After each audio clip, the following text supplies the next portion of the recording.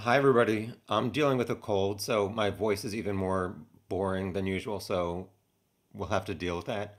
As always, I like to start with reminding everybody that this is about Abby and Libby and getting justice for them. Just a quick chat overview. I have slow mode on for 15 seconds between messages.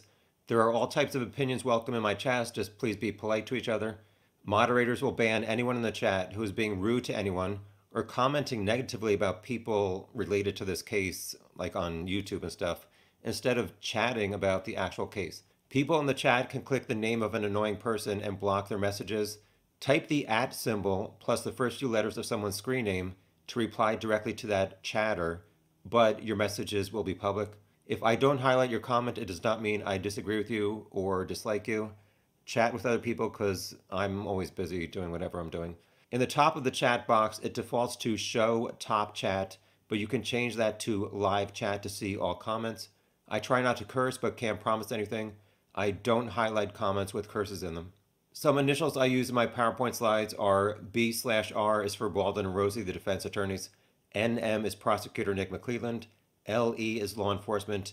And PP is the Purdue professor who gave his opinion about the sticks at the crime scene.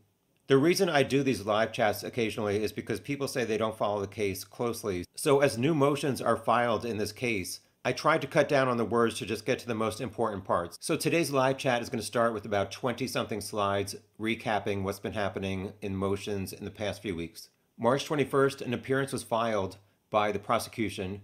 The summary is Stacy Diener will be helping the prosecution I looked online to see what her job title was, and the only thing I found was White County Assistant Prosecutor.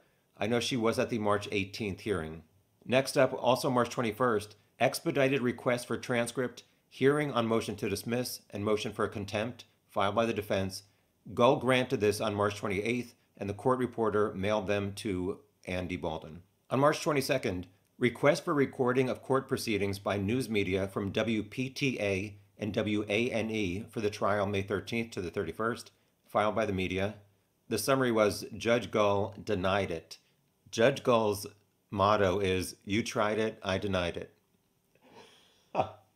It has not been made clear yet if Judge Gull is only rejecting these TV stations because she's going to maybe only pick one that's going to live stream it out to everybody. But since this denial of these two stations, she has also denied a request from one other station.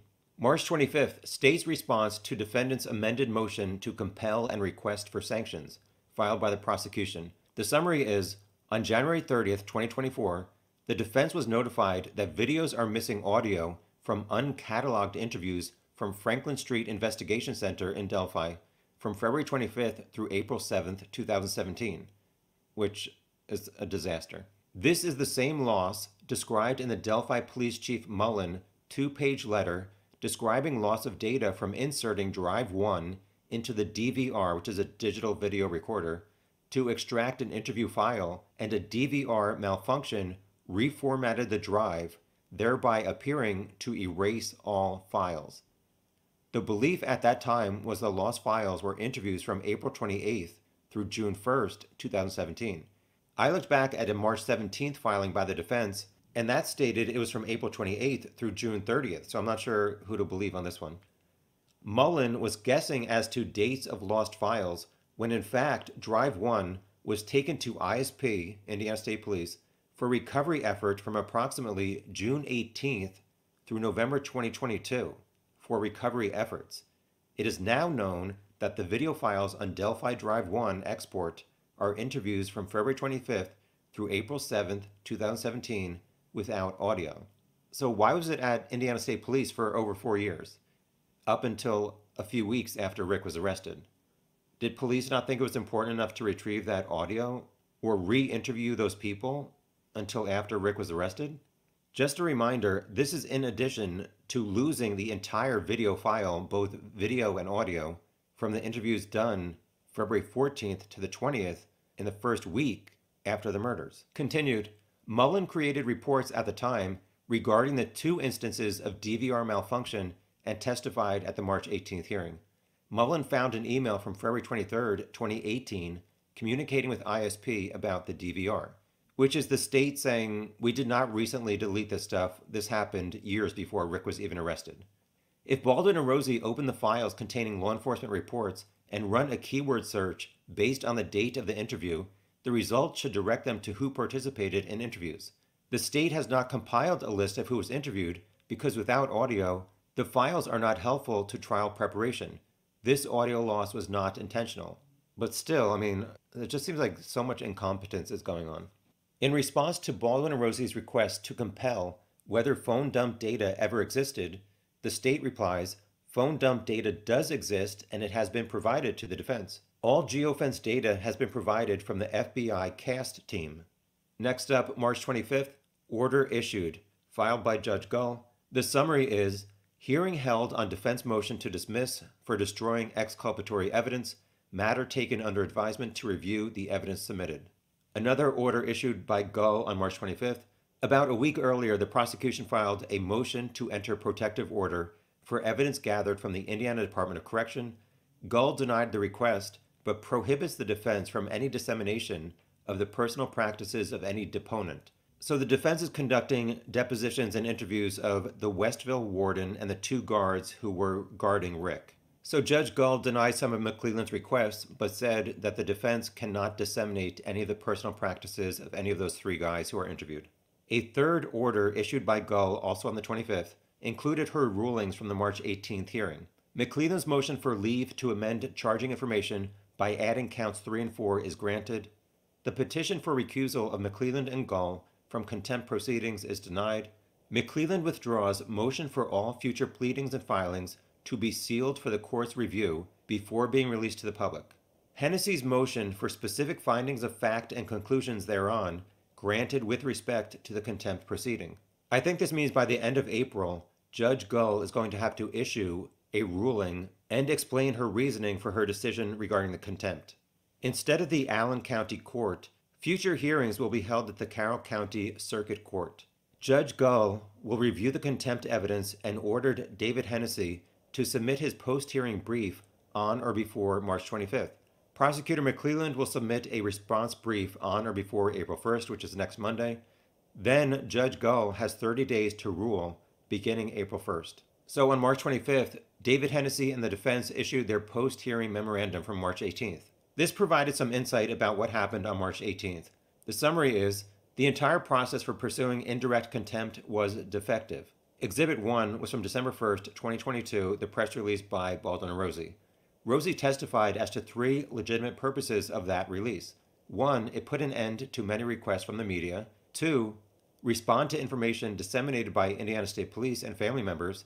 Exhibit T identified over 130 press conferences, press releases, or media disseminations. And number three, generate tips to assist with the defense of Rick, of which there were many that were very useful. Exhibit 2 was the accidental email to Brandon Woodhouse. It was a thumb drive map with a discovery organizational outline that did not identify anything important. It was sent to one person, not disseminated widely by Andrew Baldwin. The protective order was intended to prohibit public disclosure through media outlets. Continuing, Exhibit 3, a discovery receipt that was not admitted.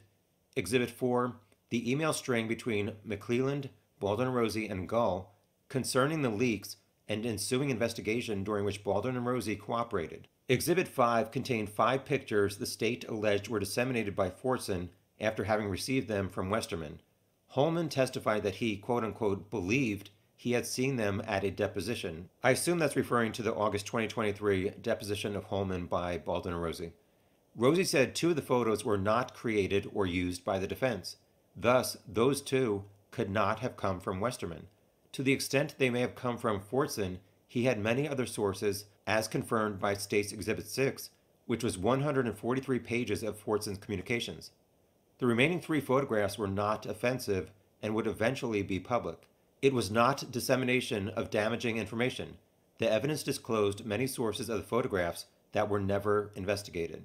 Continuing, the most egregious leak was the Ron Logan PCA, probable cause affidavit. Holman testified that he asked Barbara McDonald where she got it, and she said from Ron Logan. Holman testified the search warrant affidavit is never left with the person, just a copy of the search warrant. Thus, Barbara's statement had to be false. That affidavit also had murder sheet overlaid on every page. Holman never asked the murder sheet people about it and never did any further investigation as to the source. Exhibit 6 143 pages of Fortson's communications. The state previously provided 145 pages, but never said what pages were removed or why. Not once did Fortson identify Westerman as his source or direct contact with Baldwin. See Appendix 1. The state argued Fortson saying he was going to Franklin connected him to Baldwin because his office was in Franklin. There was no evidence Fortson went to Franklin and no mention of Baldwin regarding his trip to Franklin. The state ignored Westerman's ties to Franklin. Only four references to Andy, aka Andy Baldwin. Number one, quote unquote, they have Messer's phone. This next quote refers to she, which I think is the ex girlfriend of this quote unquote Odinist JM. She tried to give it to Holman, but he ghosted her, so she gave it to Andy Baldwin. No source was identified for that information, and it was not attributed to Andy. 2. Andy had audio of the Purdue professor's statement. 3. Gull was setting a suppression hearing, but Andy is seeking clarity. Those three references did not identify the source of the information and was not attributed to Andy. 4. He's going to be with Andy tonight.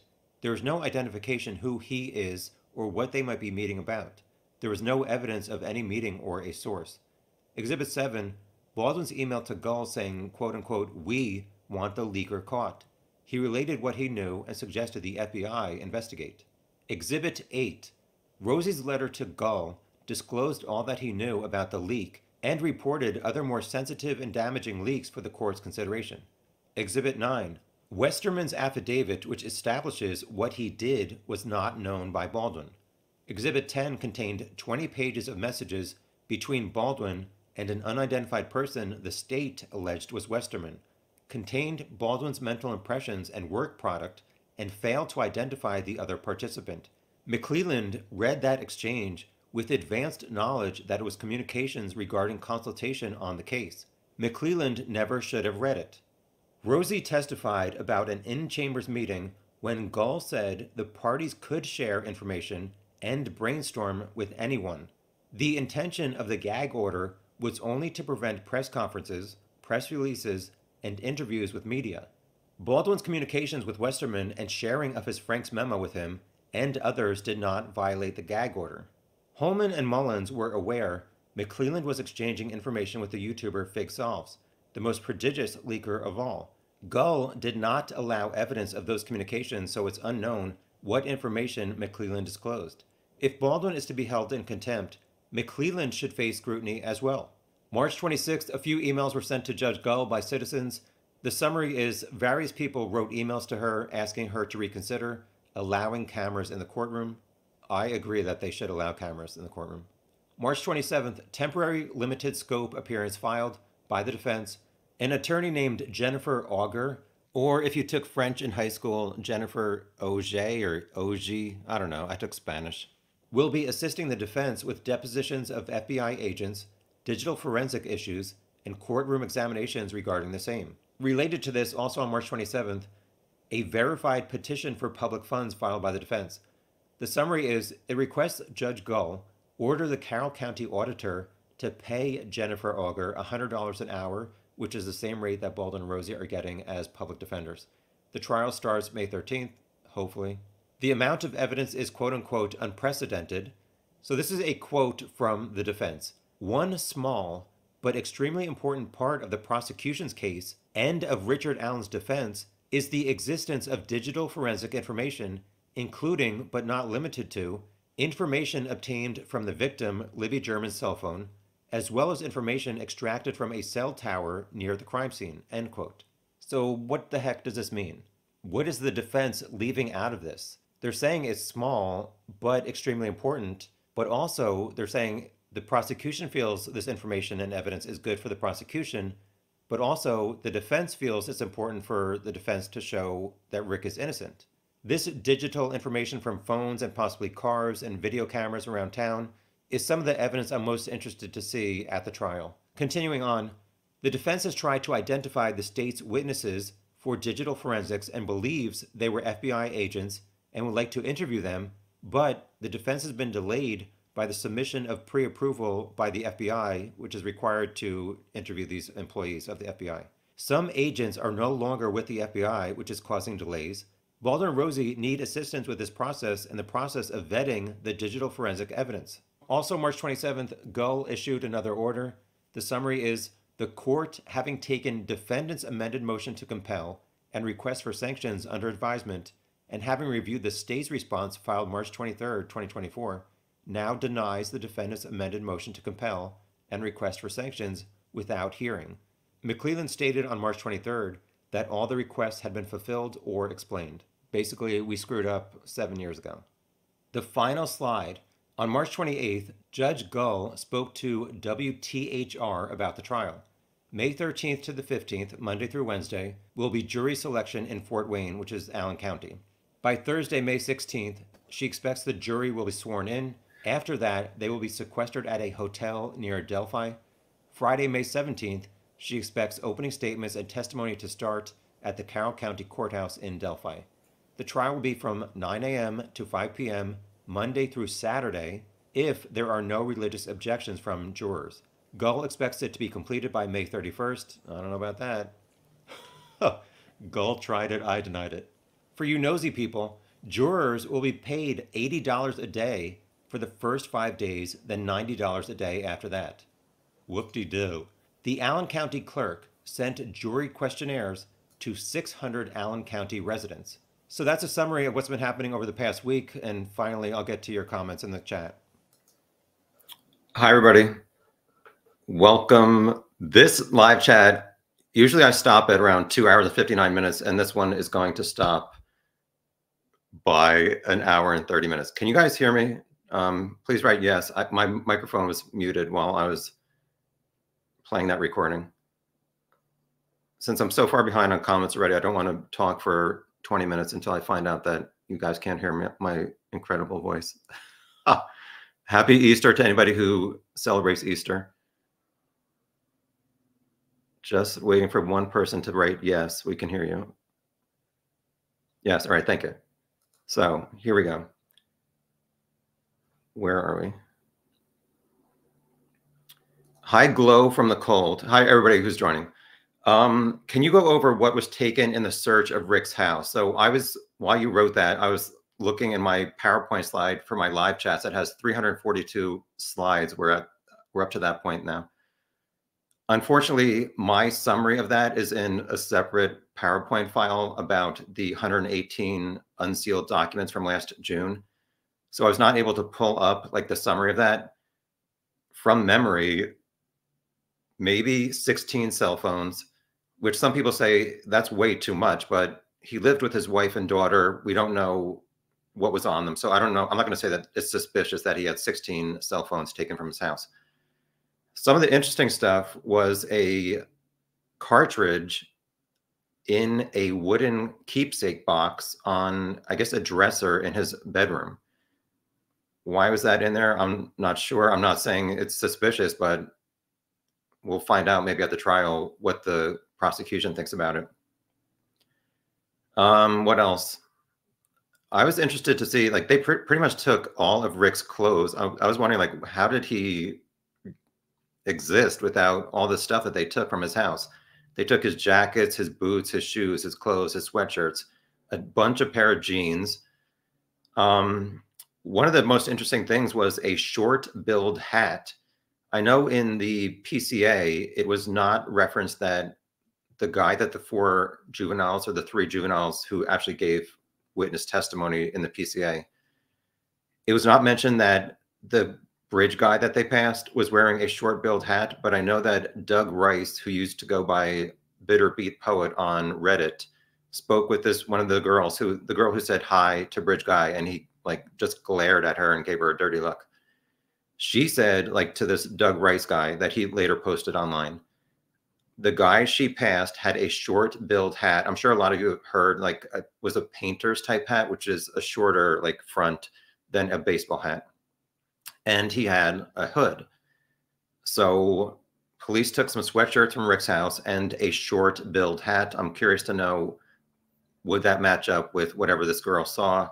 Or obviously, a lot of us have struggled to make out what Bridge Guy is wearing on his head in the Bridge Guy video um, from Libby's phone.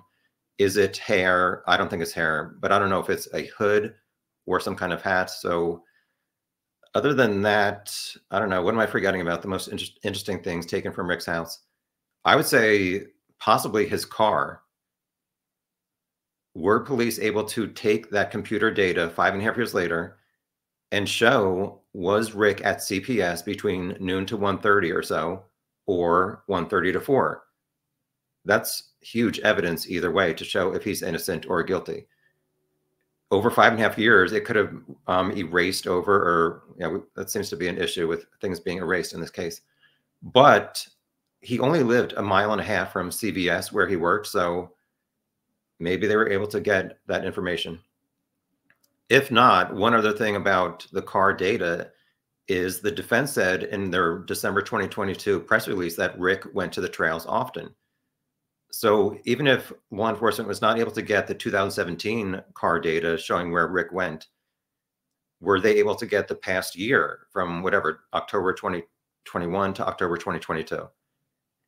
How many times did Rick go to the trails? Will the prosecution try to show that Rick stopped going because he was bridge guy? Or will the defense show that he kept going, show that so that means that he's innocent? Don't know. Hi, Peter. Good day, mate. Um, don't uh, don't you have to choose to reformat? You said it yourself. The amount of incompetence, so-called, lots of emojis. Yeah, lots of incompetence. I, I, I don't know what's going on in this case, but I do not think that it was those um, various interviews were recently deleted to try and hide evidence. It seems like there was some kind of documentation showing back in whatever 2017 18 that they screwed the pooch back in the day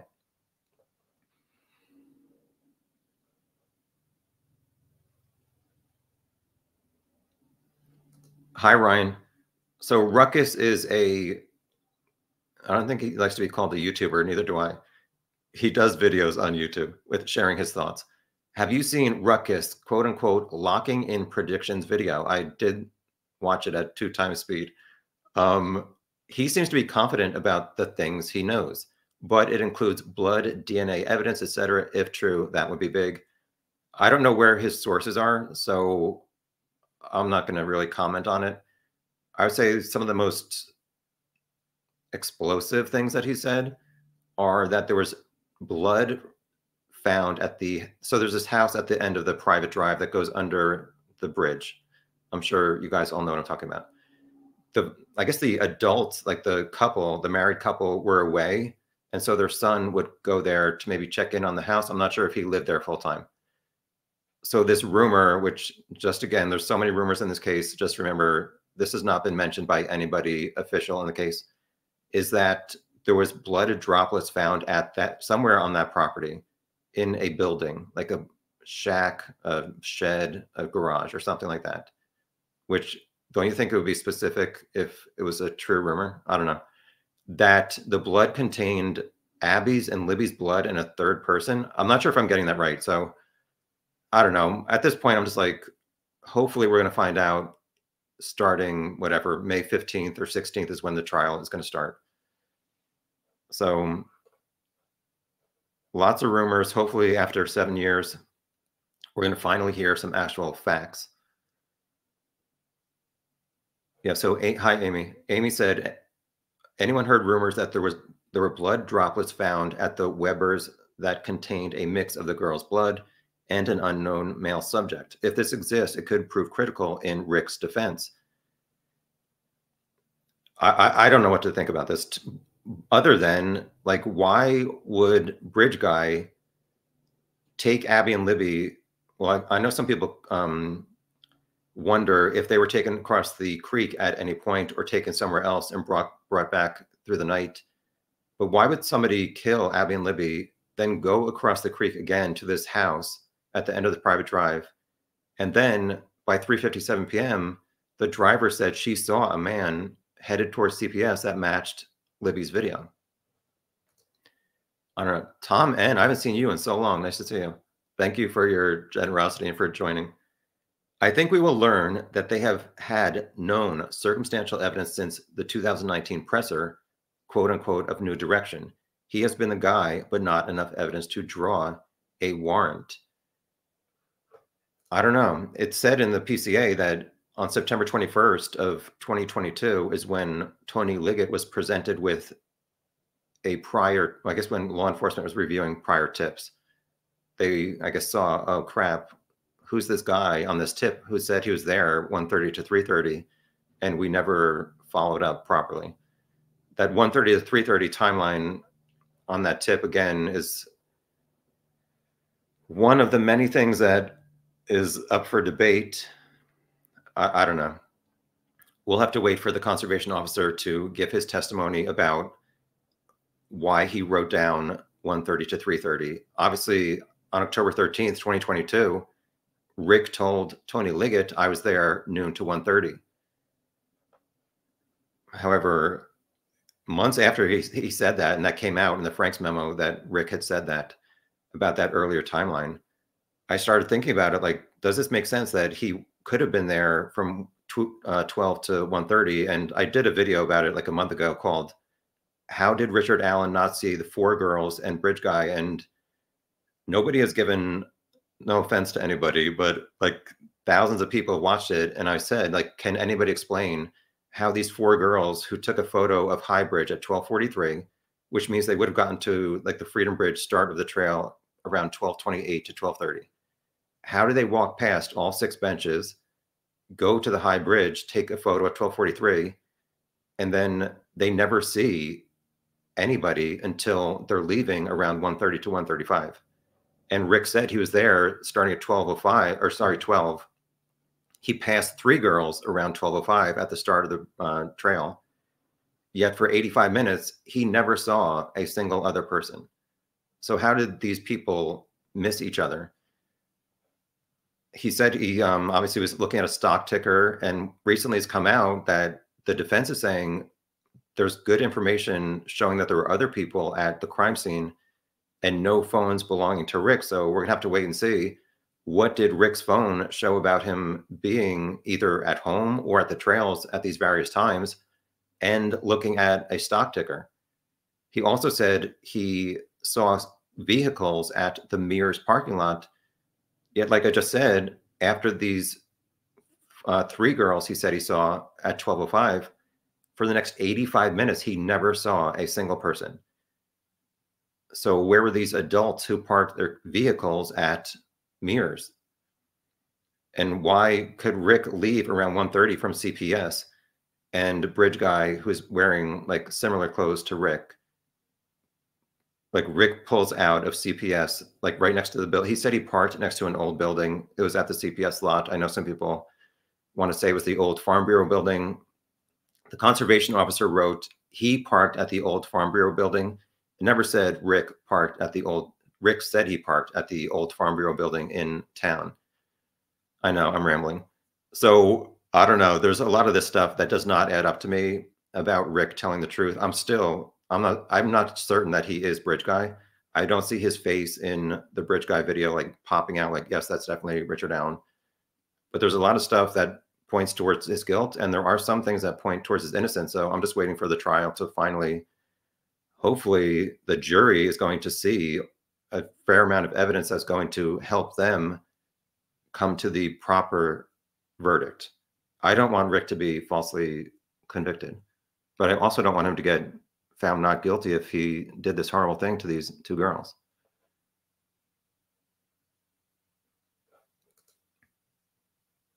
Tom, and thank you again. When I listen to Doug Carter's old interviews with his, this mindset, it will definitely give you his insight. I listen with my street smart mind and ignore practical something or other. Yeah, we haven't heard from Doug Carter. Can somebody check on Doug Carter? after he said something about tentacles, I think they were like, no more interviews for Doug. Hi, Anna. Ruckus's uh, presentation is extremely interesting, but it adds many complexities. How many times did how many times did how many criminals cross that creek? Maybe that's why attorneys say Rick is innocent. Is the case too complex? Well, we know that from the Franks memo, there's this. Um, well, they said that uh, Liggett lied because I guess Tobe Leazenby is saying he thinks there is two people involved, and Liggett maybe said behind the scenes that he thinks two people are involved, but he told he's saying that Rick is bridge guy and the killer, I guess publicly and to the defense team in depositions. I don't know. I know some people think that the girls were taken away that night and how were they not found? But to me, they were not found. I know there's some again conflicting reports where they found like between 9:30 and 10:30. The official thing is around 12:15 p.m. on the 14th. So that's like five hours of daylight for these searchers to have found them. So if they were not found in five hours of sunlight, to me, it seems somewhat logical that in darkness they would not have been found for whatever 12 plus hours. Hi, Sylvia. Yeah. Judge Gull, you tried it. I denied it.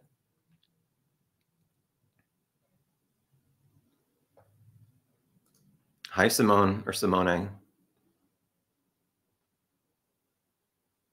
We are at 31 minutes. Um, only another hour, you guys. Sorry, but we all have other things, better things to do.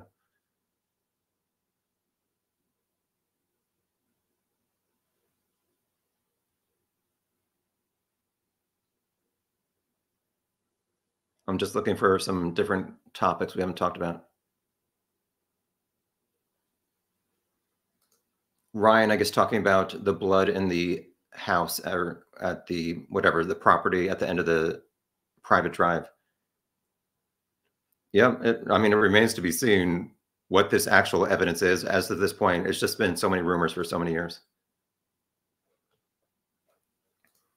Aloha, Kevin. Thank you for your generosity. Hopefully, you did well playing golf yesterday.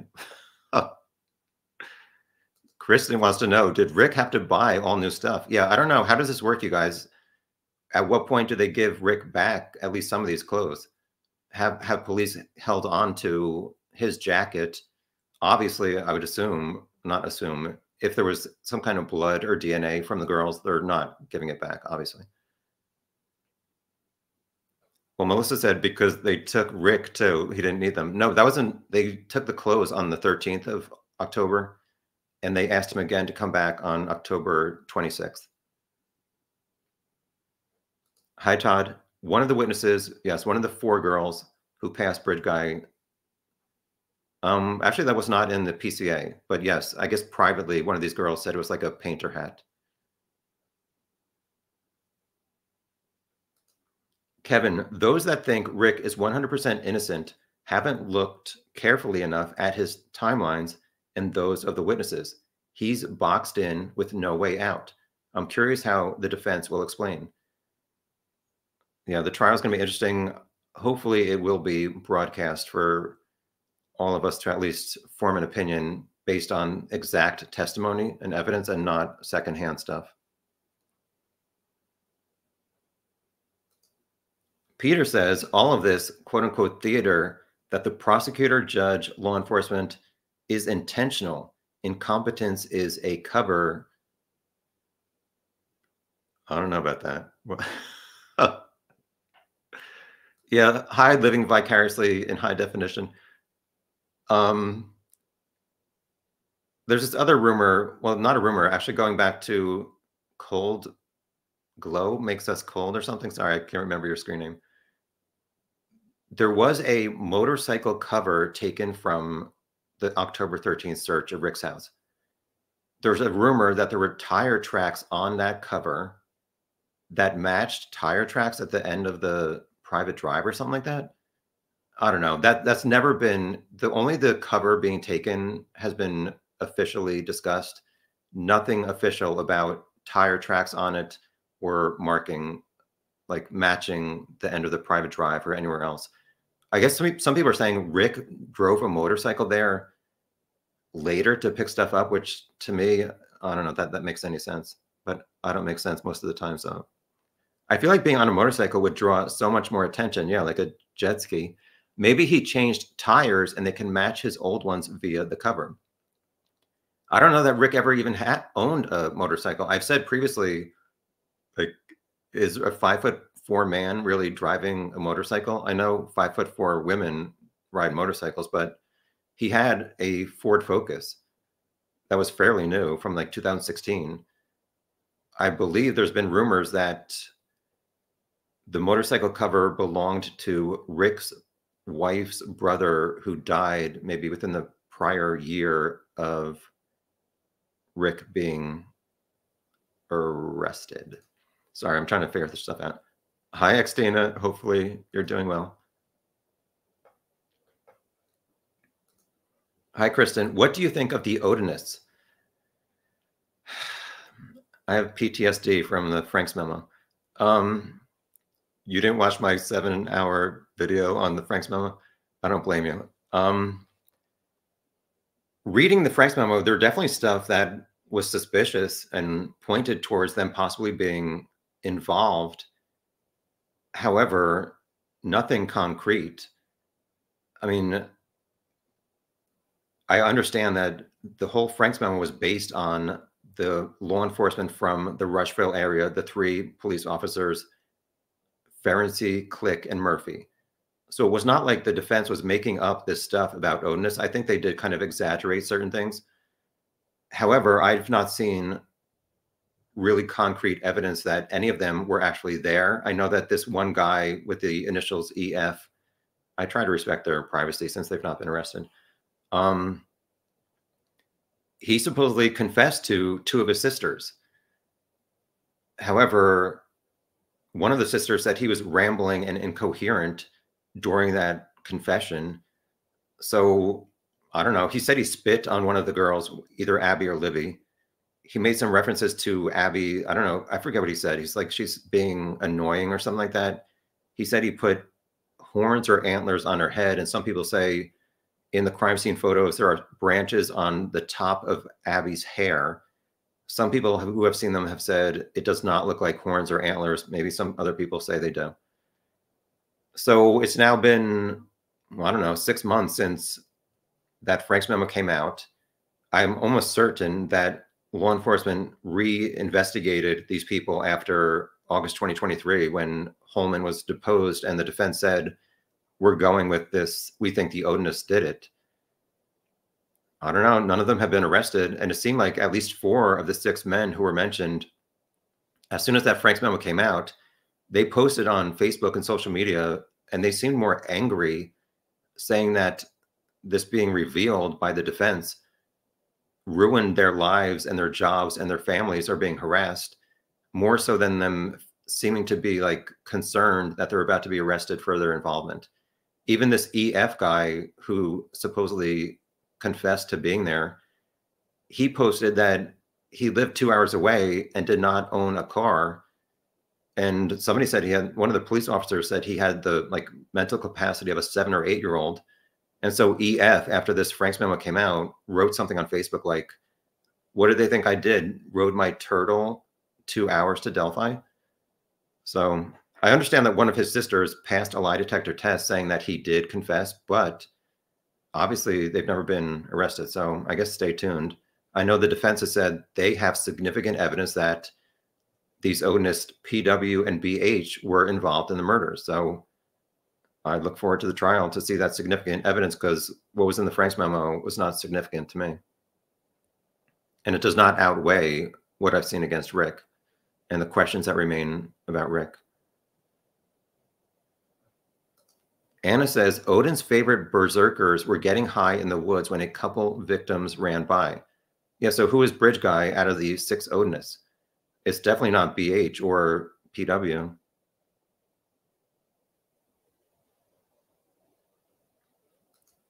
Peter wants to know. I don't think so, Peter. Uh, did you did you ever verify what I mentioned last live? I must have missed your comment about the confirmed three other cult like like killings in the area. I've never seen that.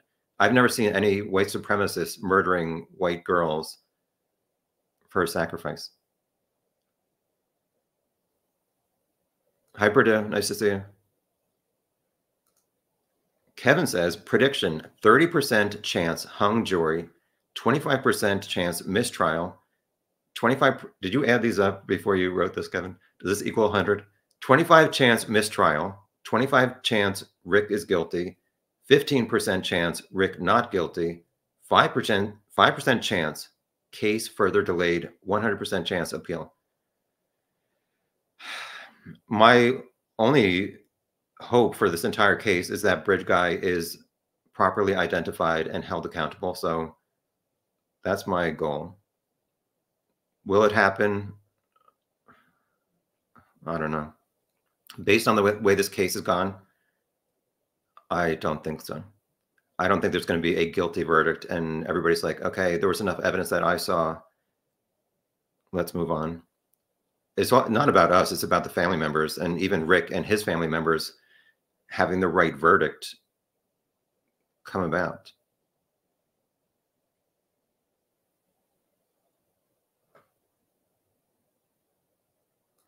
Glow from cold. All right. Thank you for clarifying your screen name. I think it will be a short trial, three weeks. The state's case seems fairly simple and straightforward. One person acting alone. Yeah. So they upgraded Rick's charges from just being bridge guy to being the killer. I don't know about it being three weeks. Gull thinks it's going to be over, I guess, by the 31st of May.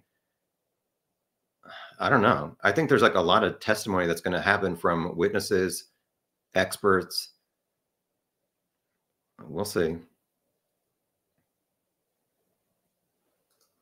Anna, investigators have mentioned photography as part of the crime. Maybe the motive was to take dirty pictures in a shed, but the girls ran and resisted. There were, yeah, I don't know that investigators, are you sure that they said that in anything official? I've heard rumors that there was like tripod marks at the crime scene, like three prongs from a tripod where you would put like a video camera or phone or something like that. I don't remember seeing that officially about photography. Oh, well, I think Ives, the former pro prosecutor, maybe said the crime scene looked like something that you would take a photo of. I don't know if that's what you're talking about, Anna. We, from what um, I guess the crime scene photos that came out, it was obviously Libby was not wearing any clothes. Some of Libby's jeans and her sweatshirt were put on top of Abby's clothing. Each of them had branches on them, and then there's this tree that may or may not have an F written on it. So what what else could there be at the crime scene that somebody would want to photograph?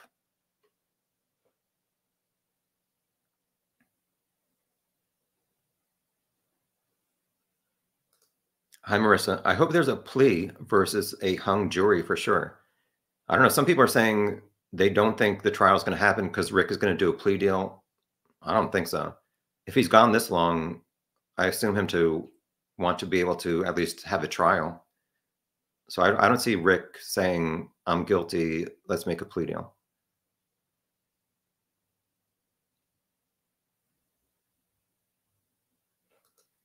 Hi, unseen. Uh, that's not true. Sorry.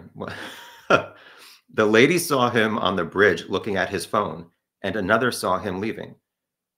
I mean, I just try to clarify some things that are maybe not totally correct. Witness four saw a man on platform one. I've never seen anything where she said he was looking at his phone. I'm very interested to see what her testimony is going to be. Rick said he was on platform one, but apparently 90 minutes earlier than Bridge Guy was standing on platform one. And witness four, aka the lady, she said she saw a 30, no, sorry, a 20 year old with poofy hair. So I'm very interested to hear a lot of this perspective about this witness four. Another saw him leaving. Um, there's this 357 driver who said that she saw a man who matched Libby's video However, in the Franks memo, part of the reason of the entire Franks memo was because the defense is saying that that woman, the 357 driver, told Tony Liggett that the man she saw was wearing like a tan or like a light beige. I forget the exact um, phrasing. She said the guy was wearing a lighter jacket, not dark blue. So the defense was saying, well, Liggett lied. And so he lied with that um, information, and so the entire search of Rick's house should be thrown out. Which I thought there was enough evidence to get the entire search.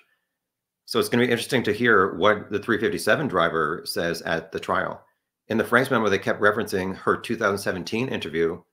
However, later on in in further years, did she say, "Okay, yes, it was like a dark blue jacket, and it could have been blood and not just mud"? I think we have to wait to hear the final testimony from these people and not just rely on snippets from various motions and stuff. Anna thinks the trial will be very short. Has been said three days for jury selection. Day four, the jury sworn in and opening statements made. 13 minus four equals nine. Uh, no. It's three weeks total from Monday through Saturday. So two full weeks is six plus six is 12 plus two is 14. Maybe you're off by one, right? I'll delete that later. Hi, Lisa. If you had to decide right now, based on what we know, which is very little, I'm sure, would you say he's guilty? If I had, if I was on the jury, based on what I've seen, I'm leaning towards guilt more than innocence, but I would not feel comfortable sending him to jail for the rest of his life based solely on what I've seen so far. However, I think there's a lot more stuff that's going to come out at the trial, not just actual concrete evidence, but testimony from various people that's going to paint a bigger picture about whether or not Rick was Bridge Guy, at least, and maybe not the killer, but at least Bridge Guy.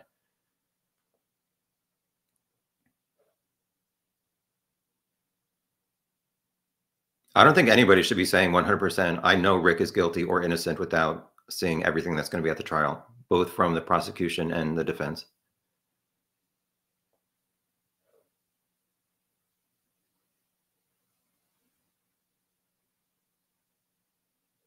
Hi, Sub Rosa. Is everyone innocent and set up for murder or just Rick Allen and Kohberger? Is Heuermann innocent too? No, I think Kohberger and the Long Island serial killer are definitely guilty and they're absolute pieces of crap. Definitely their PCAs had a lot more concrete evidence that they are guilty. Yeah, they're horrible people. So I'm waiting for Rick's uh, trial to see more evidence about whether he is or is not guilty.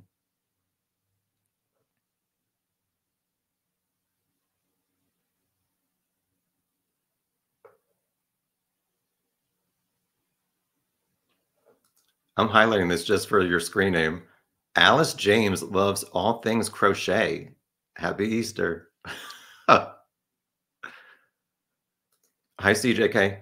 Two guys doesn't mean both were there physically. Two can still be involved. Well, my thing about that is I know there's a lot of people saying, oh, psychically, um, physically. Um, it's been a year and a half since Rick has been arrested so where are these other people, these other actors who were involved? I know the other actors comes from Nick McLeland from a month after Rick was arrested, or like three weeks. However, as some smart people pointed out, was that because police already matched Rick's DNA with the crime scene and it did not match up? So they thought Rick was bridge guy, but they wondered if it could have been somebody else whose DNA was at the crime scene. When McLeland upgraded those charges um, in January 18th, maybe, to show that Rick was the killer, is that because they found out who that DNA belonged to? And maybe it was a friend of Abby's and Libby's who had touched the sweatshirt. That was just one possible thing that I thought of previously. So I don't know if it's going to come out that the DNA at the crime scene was a random person and not involved in the crime. Because obviously, if it shows like it's a male DNA or something, how is law enforcement going to explain that away? We've never been told exactly what kind of DNA it is or where it was found. So, again, stay tuned for the actual evidence and not just rumors. Tom, sorry, I missed these. Honestly, eyewitness accounts have been done away with since the 90s. Just listen to the differences in the witness accounts. That won't hold in court. I agree. Like even the three girls who passed Bridge Guy around 1:30, like some pretty wildly different descriptions. Tom continuing, I think the Odinist approach is to throw a reasonable doubt.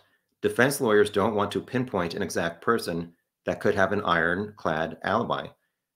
Well, if I'm a member of the jury and you want me to believe that white supremacists murdered two white girls in a ritual, like compared to the evidence against Rick, like you're going to have to present, as the defense said, they have significant evidence that PW and BH were involved in the murder. So you're going to have to present some pretty significant evidence that PW and BH were there. I don't know. We'll see.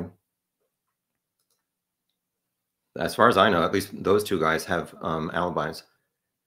This trial will last the full three weeks. There's a mountain of evidence that we have no clue about. I pray they convict the right guy no matter what. I agree with uh, convicting the right person.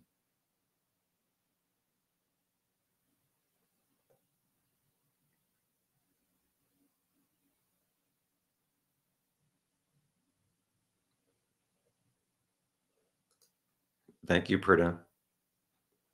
Hi, Mustang. Yes, justice for Abby and Libby. Hopefully, it's going to finally come in about two months or so. Marissa, in Marissa's opinion, Rick could have shrunk in height during the five years. What you think? Well, his temporary public defender, Libredo, said in January that he's five foot six. I know there's there's this huge debate for since he's been arrested. How tall is he? Does he match Bridge Guy's frame, his height? I know various people have done various um, analysis. I think Bridge Guy's boots are uh, small. In some of my previous live chats, I've shown a comparison of Bridge Guy's boots to a photo taken of Rick around summer 2022, a few months before he was arrested. And I do think his feet could match the size of Bridge Guy. And I just, I do think his body type can match Bridge Guy's. Sub Rosa, the PCA is not supposed to have everything. All PCAs are cherry picked. Yeah, the PCA was just to search Rick's house. It does not include everything they found.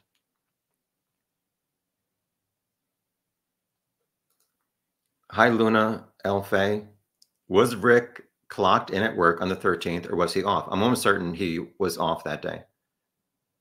He said he went to the trails noon to 1.30, so I believe these CVS workers, some of them work weekends.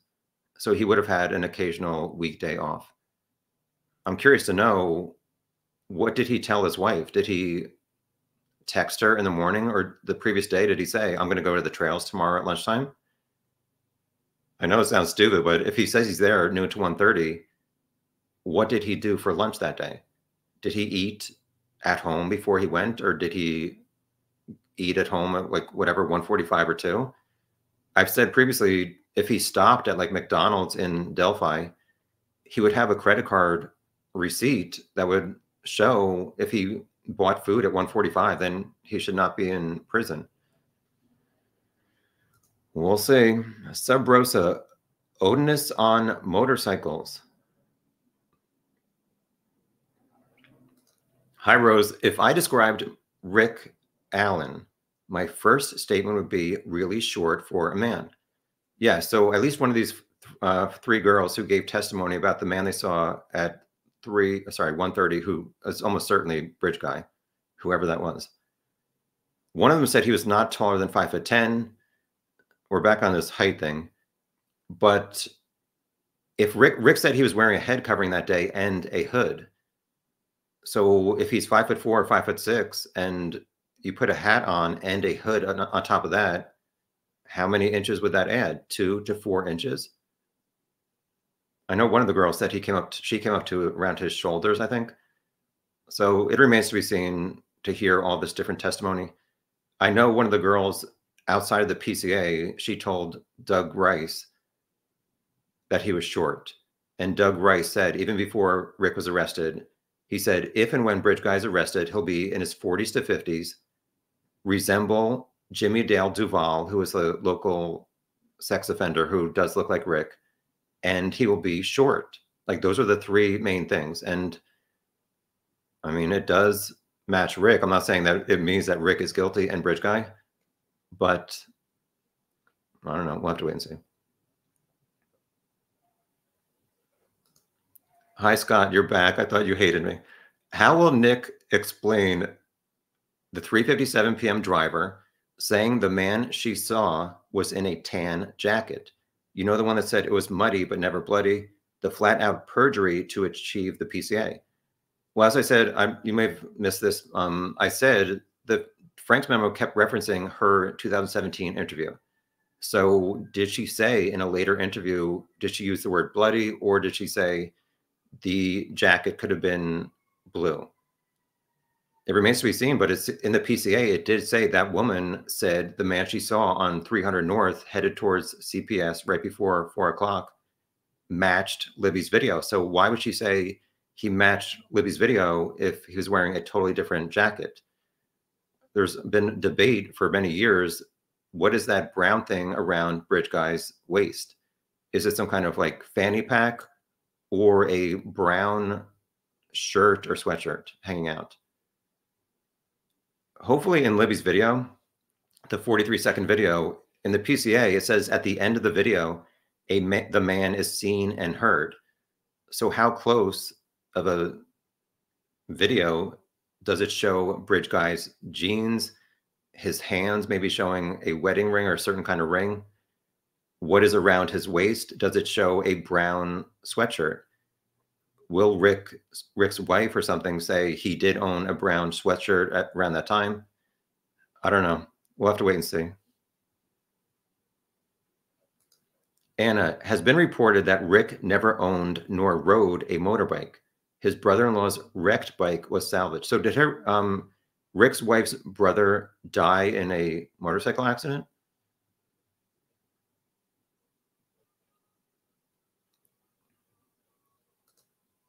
Peter watched all seven hours of my Franks memo video. Thank you. You're one of like three people.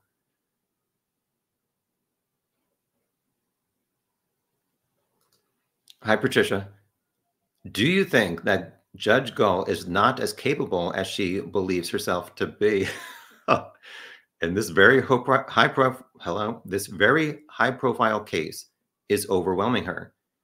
We're at 57 minutes. I'm going for like another 30 minutes for anyone who's counting. I guess maybe I'm the only one who's counting and hoping it ends as soon as possible. Um, she doesn't seem to be following procedures, which to me it's this, this whole case is really eye opening to me. It's my first like true crime case, and it's not good on every single level. Um, I don't know why she's not following procedures. I know she blamed her clerk for a few different things, but still, it's like well, I don't know. I have no like allegiance to her, and if she got replaced by a former Supreme Court justice, who I know some of them are they're like special judges which could be assigned to this case. So I would not be upset if she was replaced by somebody more capable. What, whether that's going to happen or not, I doubt it.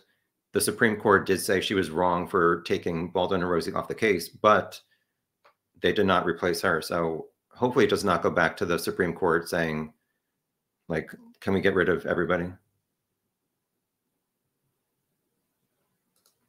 Tom has a bunch more stuff.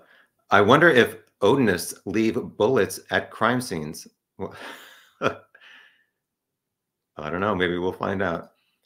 Glow from cold. Thank you very much. I appreciate it. Tom, search teams probably destroyed a lot of footprints. Again, that remains to be seen. Talking about, I guess that was Glow from Cold asking about what was taken from, from Rick's house. I know there were two boots, pairs of boots. One, I'm almost certain, said a dirty black pair of boots that were 6.5, size 6.5. Were there footprints taken from the edge of the creek, like the north north edge of the creek, that matched Rick's boot footprints that were taken? There was one other pair of boots, but uh, they were 8.5 size, and I forget what color they were. Tom, Jimmy Dale Duvall told us they knew who it was. They always said he was local, hiding in plain sight. They never veered from that. I watched all seven hours. yeah, uh, if if you want to see who this guy is, Jimmy Dale Duvall, D A L E, I guess is his middle name, D U V A L L, no E. Search Google, Google for that name and go to images, and you should see what he looks like. One of the girls who passed Bridge Guy around 130 said he, the guy they passed, looked like that. If you think that looks like Rick, Okay, if you don't, okay. I, I think it, he does look like um, Rick. High Cubic Z Painter. Former public defender Libredo has a lot of confidence in Judge Gull. Yes, he did say nice things about her. Scott, how will Nick explain Todd Click's quote unquote Odinist report? well, he'll maybe present evidence showing alibis for all six of those people that were referenced in the Odinist report. I'm curious to know how much of the evidence did those three officers, Click, Ferency, and Murphy, have access to that the Unified Command had access to? Obviously, what they said was very convincing that they thought the Odinists were involved.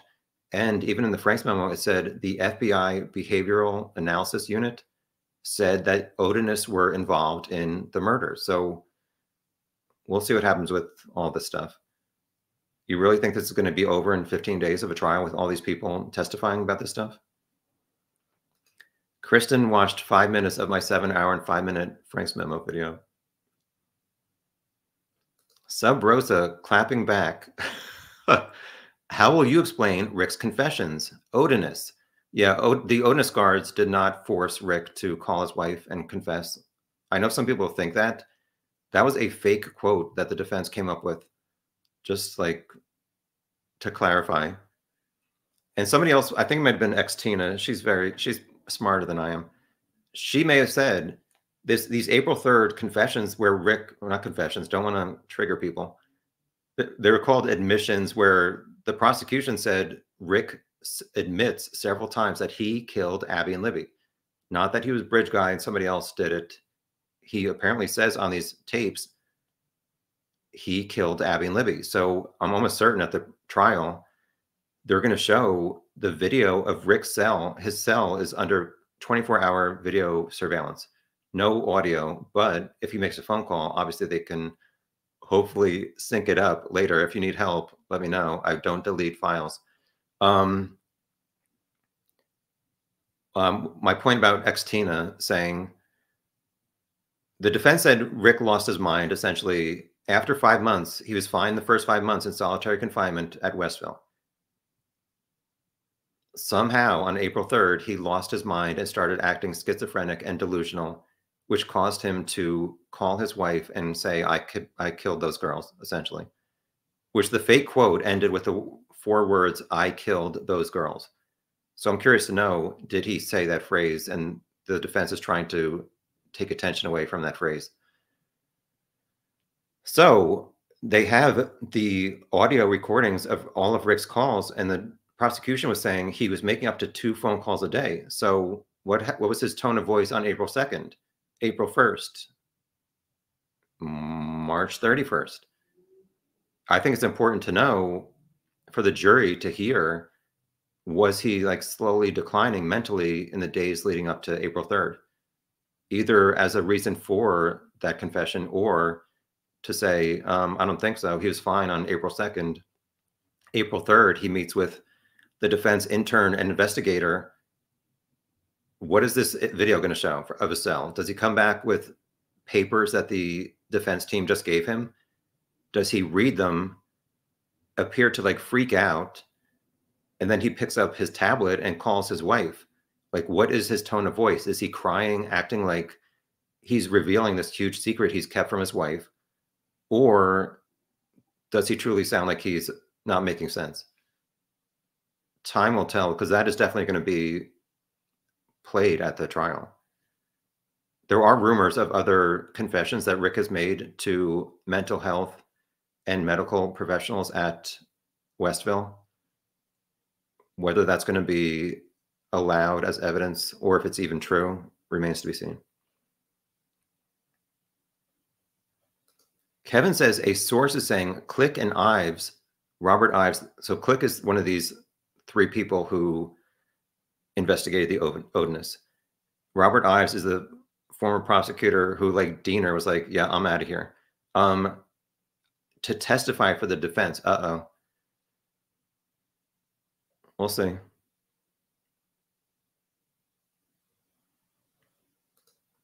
Luna, why do you think the defense went Odinist rather than Kegan Kline? Because they had an 85 page report where these three officers said they thought the Odinists were involved, and the FBI crime, whatever FBI behavioral analysis unit said Odinists were involved, and law enforcement investigated Kegan Kline for six years or seven years almost yet they have never charged him with anything. So it seems like there's no evidence against Ron Logan or Kegan Kline. That's why the defense is going with uh, the Odinist.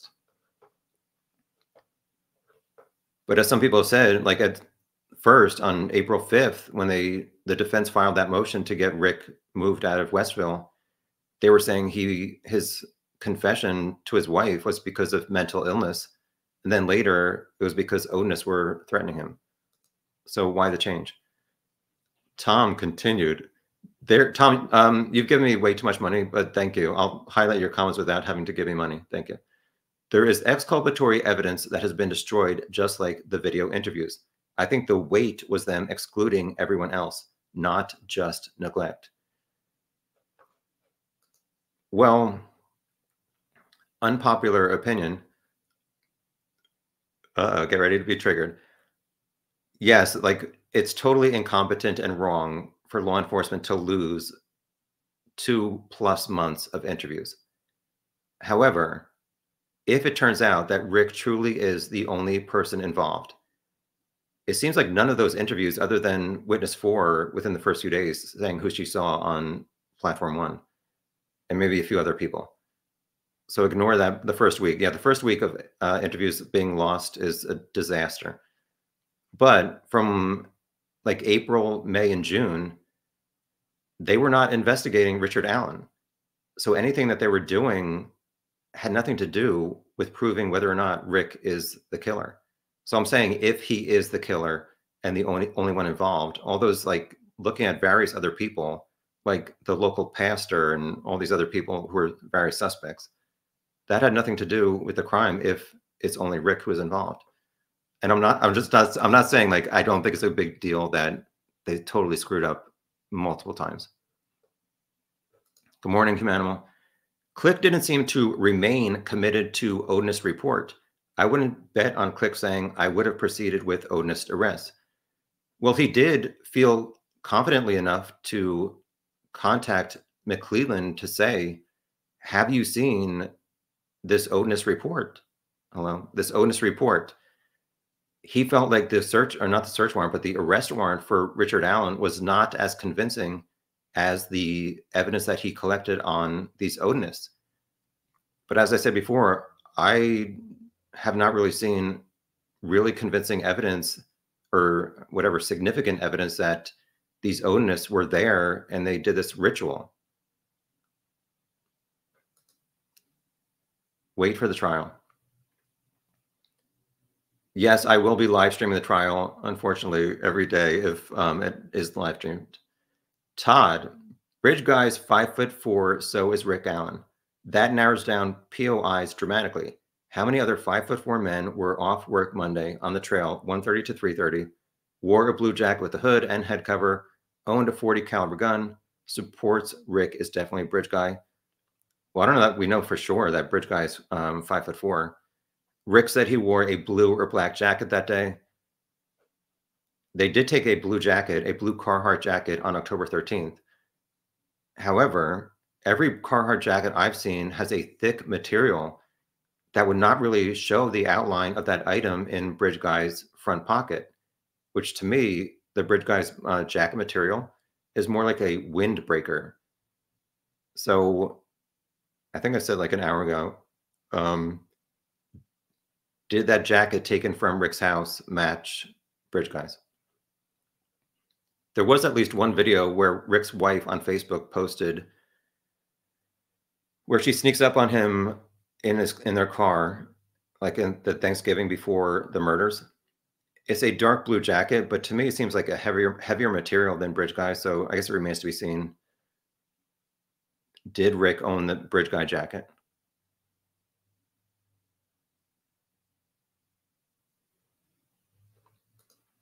Glow from cold. Do you know anything about what Rick told the warden? Yeah, the warden is my pen pal. No.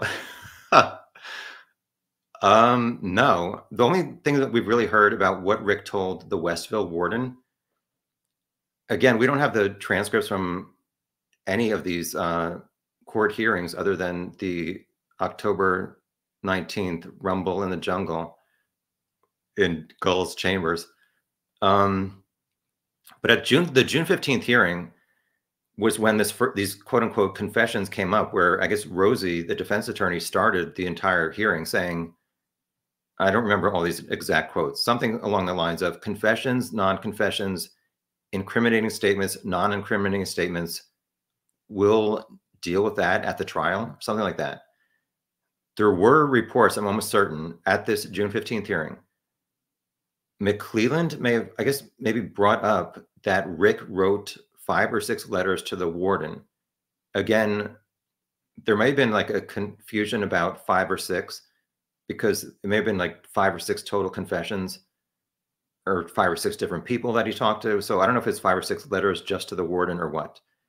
But from what we heard, as soon as McLeland brought that up, Rozzi interrupted, and I guess they had some kind of sidebar with the judge, and they stopped talking about what Rick said to the warden. I don't know if those letters are going to be presented at the trial. I don't know what they're going to contain. If it turns out that Rick is confessed or confessed not only to his wife and mother, but to like four other people on different dates, not just around April when he supposedly became delusional and schizophrenic. I don't know. What what do you think? Is that pointing towards Rick's guilt? To me, as a jury member, some of this stuff just adds up more and more if it is true that Rick is somehow involved. But again, there's stuff that shows that he's innocent and not involved. So wake me up when the trial's over. Taco Bell time. An hour and 12 minutes. I'm, am I really going to stop in about 16 minutes or 18 minutes? Probably. How far behind am I? Only half hour. oh.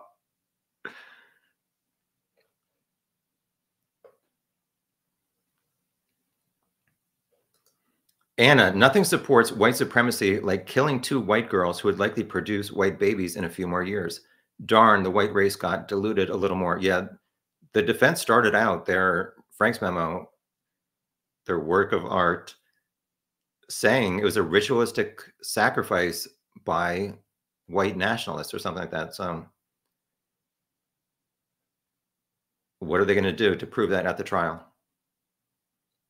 And will they even use this Odinist defense at the trial? I'm not going to be in court.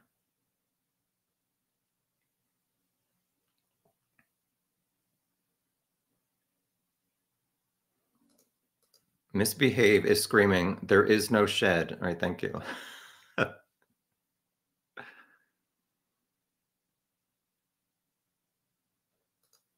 Peter says, and the, I guess, Purdue professor that's been in question was approached to confirm, comment, opinionate, I believe, on some of those at least three times. Well, it seems to come out recently that the Purdue professor may have said the defense mischaracterize some of his statements. Again, we have to wait for these people and their official testimony at the trial, not these various secondhand and third-hand interpretations. If I'm a jury member and you're going to try and tell me that Odinist killed these girls and left three branches on Abby and four branches on Libby, um, sorry, there was a bug that went right in front of my face. Um, you're going to have to show me which rune was this Odinist trying to replicate on Abby and on Libby. As far as I've seen, the professor never said which rune was on Abby and which rune was on Libby. And what does it mean? Stay tuned for that. High lead with love. Rick is not going to plea, plea out. He already has a guaranteed retrial. Well, if there's really strong evidence that shows that he is guilty, is he going to try and appeal? I guess we'll find out. Either way, if there is strong evidence or if he's going to accept his fate if he truly is guilty.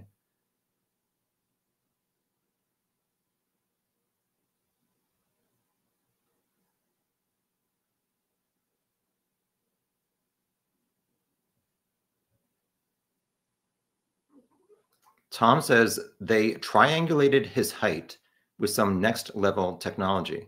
They knew he was five foot four to five foot seven. I've followed this case extensively since 2017. I've heard so much false data and a lot of validated info.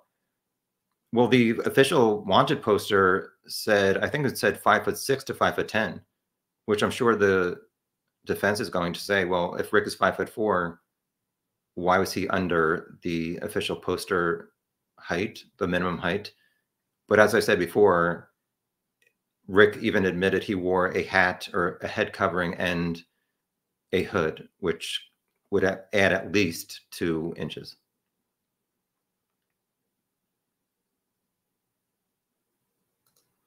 Hi, Anne. What with all the speedy trial stuff, no way Rick is going for a plea. In my opinion, Rozzi and Baldwin have promised him they're going to get him out of jail by the summer. We'll see. Yeah, we'll see. Hopefully the trial is not going to get delayed even further.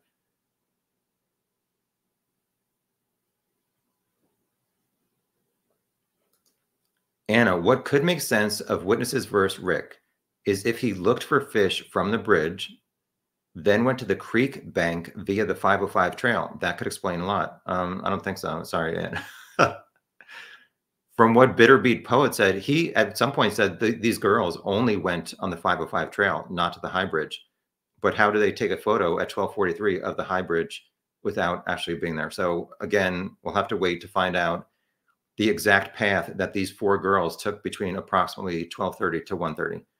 Also, did Rick in his October 2022 interview with Liggett specifically say, I only went from CPS to the Freedom Bridge Circle, started on the trail, went directly to High Bridge, stood on platform one, watched fish, and then walked directly back on the trail. We know uh, bench six starts at Freedom Bridge. I'm sorry, at Mirrors, inter, uh, Mears intersection area, and then there's five more. He said he watched the fish in the PCA and then went and sat on a bench.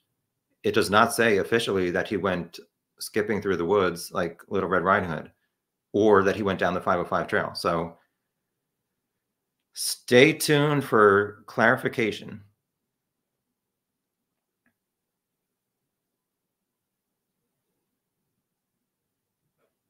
Humanimal, did Rick Allen make any stock trades that afternoon? Did he buy or sell anything? Well, if he did, that would be great for evidence to show if he did it during the crime, the time of the crime. Although, yeah, I mean, at two o'clock, who knows what he was doing? Is there evidence on his phone that he was home at two o'clock?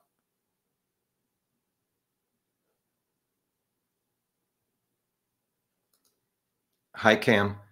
Did you ever follow up on the discussion with investigators had with Kegan concerning, quote, we have the money you sent to Libby? Was this a lie or any truth? I can't help but uh, think follow the money. Some people have said that Kegan, or actually, I think Kegan may have said, you mean the pictures I had where I show like $100 bills or something like that? I'm very interested to know, did he send money to Libby? If so, for what? I'm almost certain Kegan said he only sent $10 to one girl for food, which is like two chalupas from Taco Bell. So, hi, Cora Jean. Indiana's a great state. All right. But you need to like follow procedures more, please. Yeah, there's uh, to be honest, I've encountered some horrible people from Indiana in this case. However, I have encountered a lot of more very nice people from Indiana. From Australia, it's the other way around. I'm kidding. I do appreciate everybody joining from all around the world. I know there's people in Europe, Australia, the US, Hawaii. So thank you for all sharing your opinions and stuff like that. We're at an hour and 20 minutes, maybe 10 minutes more, or maybe a little bit more. Only 400 people watching.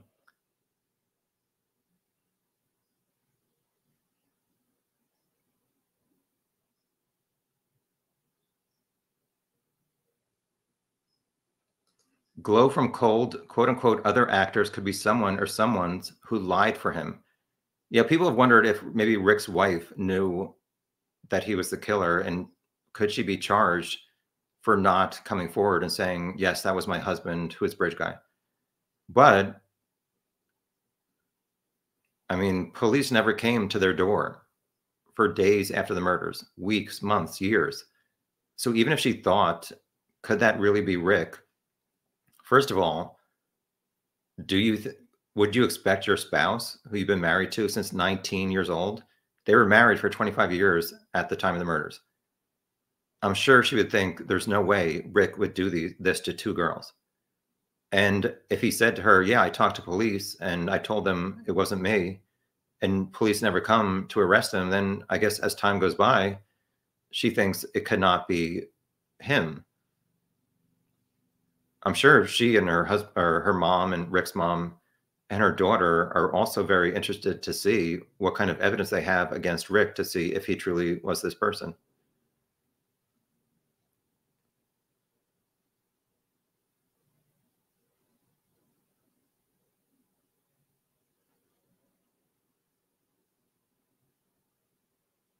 Lead with love. Um, McLeland had to upgrade because statute of limitations ran out on the kidnap, which was over five years uh, later. Right, thank you. Rose, why is Detective Holeman changing witness statements? I don't know. I guess we'll we'll have to wait and see what these um, people say at the trial. The witnesses and Holeman.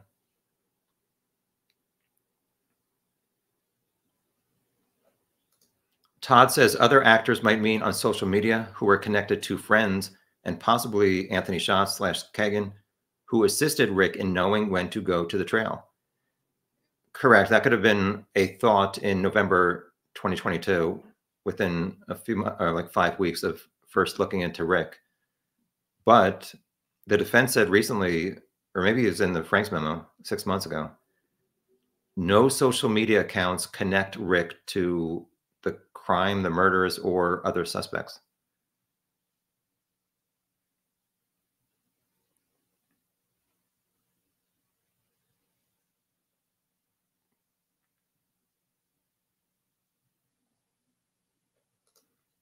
Hi, Ali Go Rhythm.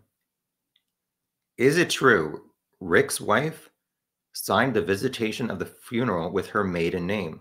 I've heard that twice. I've never seen are you? What are you saying? There was this um, Libby's funeral at the gym or something had a sign-in sheet or a memorial some sheet, and Rick's wife. I, I've never heard that rumor.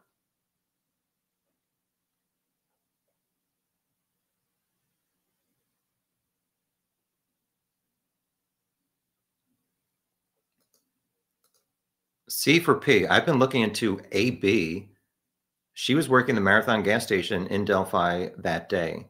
Originally claimed to have seen Libby's grandfather at the gas station that day buying Gatorade wearing a blue jacket. Libby's grandfather is not bridge guy. Like, hello, sorry. like, there's nothing on this. Even Abby's grandmother, or sorry, Abby's mom said there's nothing on the audio that indicates it would bridge guy was Libby's grandfather. Like they would say, like, "Hey, Grandpa, what are you doing here?" There was like absolutely nothing pointing towards Libby's grandfather being bridge guy. misbehave believes Rick Allen is bridge guy. I have not seen enough evidence of showing that he was bridge guy. I'm waiting to hear hopefully more audio to confirm whether or not Rick's voice seems to match bridge guy's voice. They obviously have high quality, if they did not delete it or erase it, of Rick's October 13th and October 26th, 2022 police interviews, plus all of these phone calls he's made. Does it sound like Bridge Guy or does it not? I don't know. We'll see.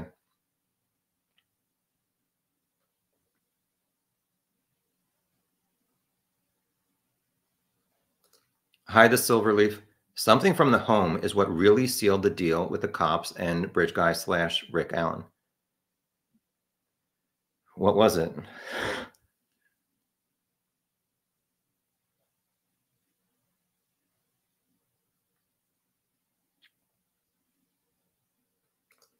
Hi, little butterball.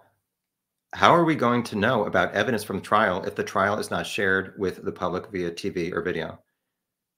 We'll have to wait in, for lunchtime and dinner time for the people in the courtroom to hopefully take good notes and not pass along bad information. I don't know. I know in this one Lori Vallow or something, at the end of the day, they only released audio only. I would be fine with that. I would prefer not to have to read through hundreds of pages of transcripts. We'll see. Good evening, Peter. Todd says the only actual difference in the descriptions from the three juveniles, juvenile witnesses, is blue versus black clothes. Yeah. All right, let me finish. That's all. And they all said they only saw one man. That's not a significant difference. Well, one said it was a duck canvas jacket. One said windbreaker. Um, one said he, he was not taller than five foot ten. I don't know. We'll have to wait and see what they say at the trial, but it's been over seven years. So, like, how much are they going to remember? I've said previously that even since they were in the woods and the shadows of the trees, could have made somebody looking quickly at Bridge Guy's jacket think it was black. But the faded jeans of Bridge Guy, I don't think even in the shade would appear black. But who knows? I mean, it's like, are you really looking and examining people's clothing as you're walking by and also looking, talking to your friends and looking at your phone? 127. Am I really going to stop in three minutes? No, I'll go to 140, and that's, I swear that's it. Anna, Rick was not arrested until two weeks after a first search of his home. I have to think police found something that led to the arrest and charges. Well, we know that the examination of his Sig Sauer gun took until at least the 19th or something. I forget the exact dates when that his uh, gun was at Indiana State Police. And I know there's a huge debate. Is this gun science re realistic or is it reliable? I mean, it seems to be more reliable when somebody actually pulls the trigger and the cartridge and the bullet goes through the entire gun. However, as a basic person, which I am, if I'm on the jury and the prosecution says we test this is a rumor that seems to be fairly reliable but it's never been like officially confirmed. But it's highly reliable. We were talking before about this house at the end of the private drive and the son who lived there there's a rumor that he had a sig sauer gun similar to rick's and that police confiscated it for several months at some point between whatever 2017 and 2022 it seems to me that he was never arrested so that analysis came back saying his sig sauer did not match the unspent round found two feet from the girls bodies. If i'm on a jury it does mean something to me if police say we tested this one sig sauer from a local resident and it did not match the crime scene. But in October 2022, when we got Rick's Sig Sauer and tested it, it did match the crime scene. And it's the even the analyst said it was subjective, but it was also subjective when they tested this other guy. So it could, I mean, sway me to at least be one other thing that points towards Rick being involved. However, I've said before, even if that's like 80% reliable, that science, like if there's a way to examine a million guys' guns Sig Sauers, it's not right that 200,000 of them would be falsely convicted as being involved based on this um, 20% unreliability of the analysis. So we'll see. Hi, Ruckus. Are you causing a ruckus with your live chats?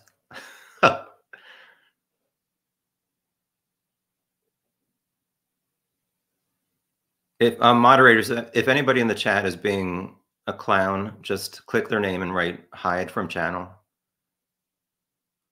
I want to hear other everybody's perspective, but I just want people to be polite to others. Sub Rosa, this will be going on for another six years at least. I mean, in addition to Rick getting a fair trial and being released if he's innocent and his family having that at least closure, to me, I think often of the families of Abby and Libby who have, have to like wake up and go to bed every day for over seven years wondering who is Bridge Guy? Will he be held accountable? So for them, I'm just hoping this trial finally provides some kind of answers for them. High tax cut chemistry of the unspent bullet versus the keepsake uh, the keepsake box bullet will be big yes.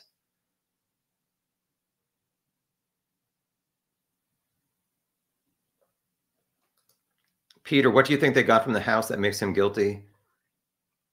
I don't know there's there's this in the supposed leaked index of evidence there's supposedly a confidential interview with somebody at AutoZone in Peru, which is where the clients live. And Rick, I think I think Rick Rick Allen lived in Peru or in Mexico, Indiana, at some point. There were rumors that Rick Allen worked at the CVS in Peru before he worked at the CVS Delphi. So why would police want to talk to somebody at AutoZone? Was it an employee asking if Rick maybe bought certain car parts to replace any blood that was in the trunk or something like that. I don't know. I'm not going to speculate and say Rick is guilty. It means that he went to AutoZone and replaced parts in his car because it had blood. But is that a possibility? It could be. Stay tuned. Todd, also, when shown the photo of Bridge Guy, the witnesses have said that is who they saw. Correct the 357 driver, witness four, and these at least three of these girls who saw a bridge guy around 130, all according to PCA said that matched bridge guy, even though they gave a variety of uh, descriptions overall.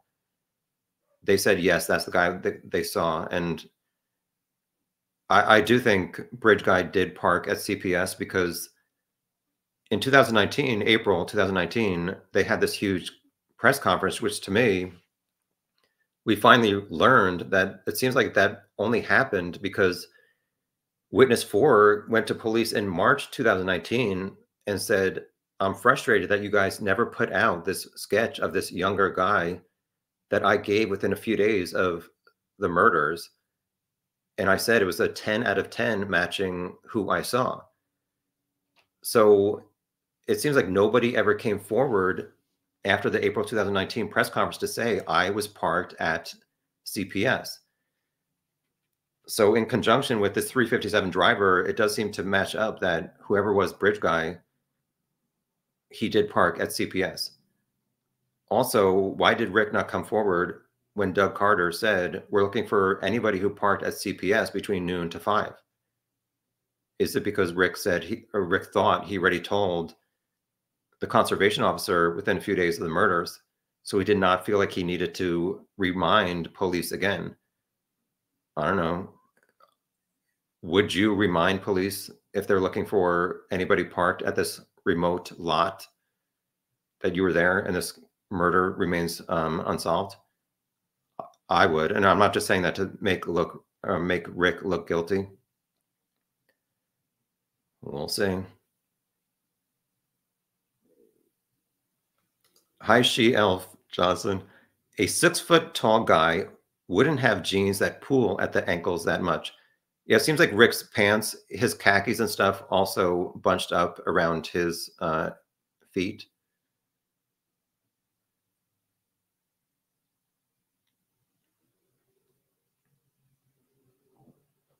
Yes, I agree. Living vicariously. Hopefully, Libby's video it does not. I'm almost certain it does not show his face of Bridge Guy, but hopefully something to either show if Rick is is or is not Bridge Guy.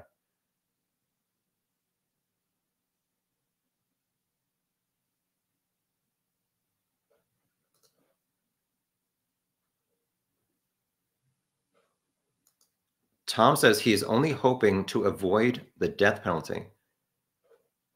Um, well, people have wondered at what point will McLeland possibly bring the death penalty into consideration, and it does not seem to me like he's going to do it.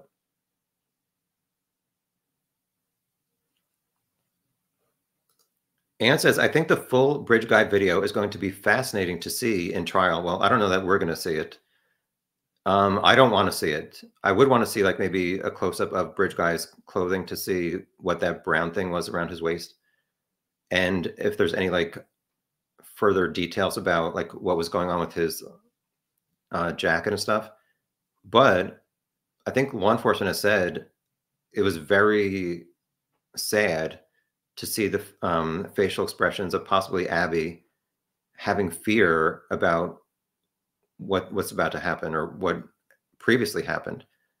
I think Libby only took that video because something previously happened there's been debate and people hardly anybody agrees with me and that's fine. I think bridge guy after platform one he went to the south end because to me if you're going to kidnap somebody down the hill you need to know if that's a viable place to kidnap somebody and to know if there's anybody down there who would possibly foil that. I've showed before Libby's vid, uh, Libby has a photo of Abby, and also she uploaded one of the entire bridge facing the south end. And to me, it does look like there could be a shadow at the end, which could be Bridge Guy. I know people disagree, and that's fine. But did they pass whoever Bridge Guy was or wherever they passed? It seems like it had to be within a few feet before this Bridge Guy video. So whether it was like 10 minutes before or 20 minutes before, it seems like there had to have been some interaction that scared Abby and Libby and caused Libby to want to document this man approaching them. Hey, hey, Caroline. Lead with love. The FBI in Indiana covered up for Dr. Nassar for years. Cover ups are real. Um, Dr. Nassar is, I guess, a doctor related to a gymnastics program or something like that?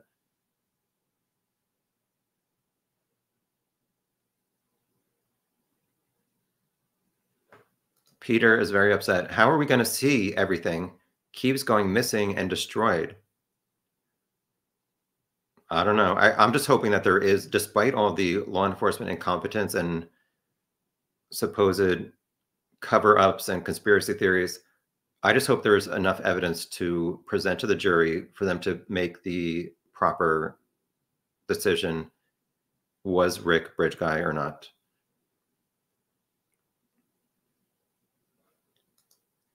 Tom made some money betting on basketball. Go Purdue Boilermakers. What?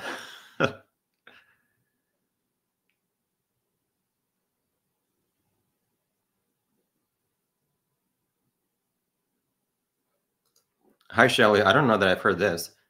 David Hennessy, who's working with the defense, he's an attorney, said they they found a shell casing at Rick's house that matched the bullet they found. How do you get around that?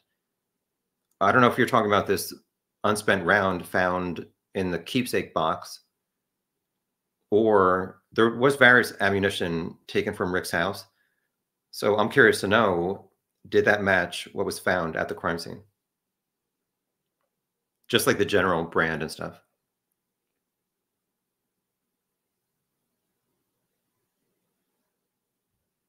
Let me skip over a bunch of comments. Sorry.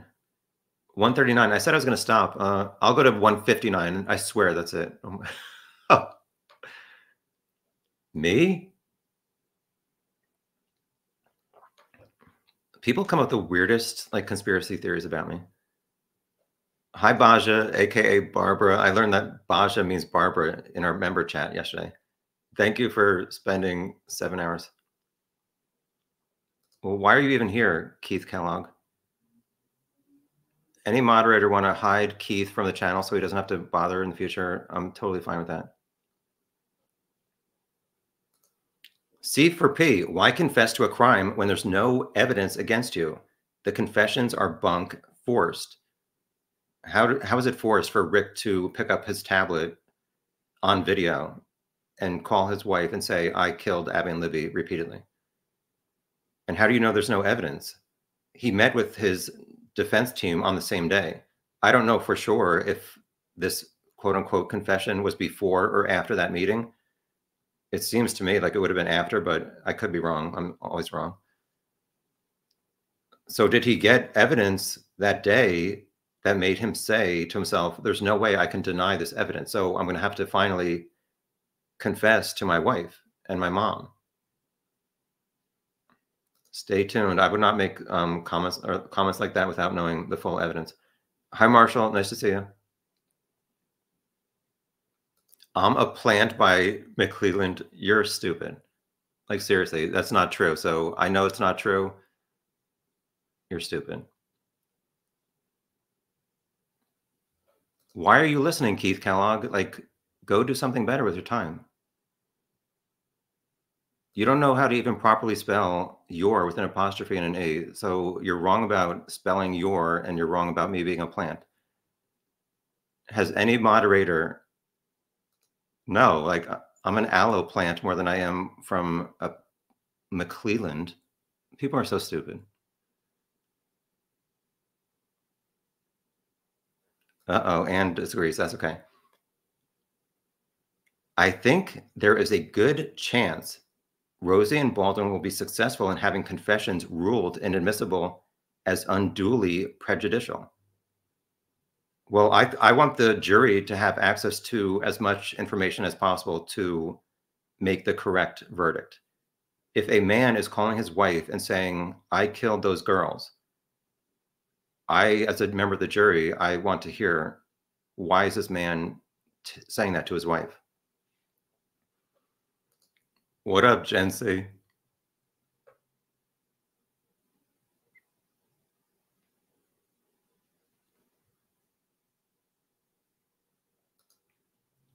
Hi, Unsilent Bob, 420. If the trial ends and Rick is acquitted because evidence gets tossed due to defense technicalities, do we, the public, still get to see all the evidence the prosecution had on Rick? I've never followed any case, and newsflash i know nothing about nothing and i've never acted like i know anything i'm just like a random person like all of you and i host these live chats because people say they appreciate it so i'm not acting like i know anything so you'll have to ask like people in the chat. Hopefully they answered you 30 minutes ago. All right i have to skip over a half hour. I'm still oh my gosh you guys are talking way too much but hopefully you're being polite to each other other than keith kellogg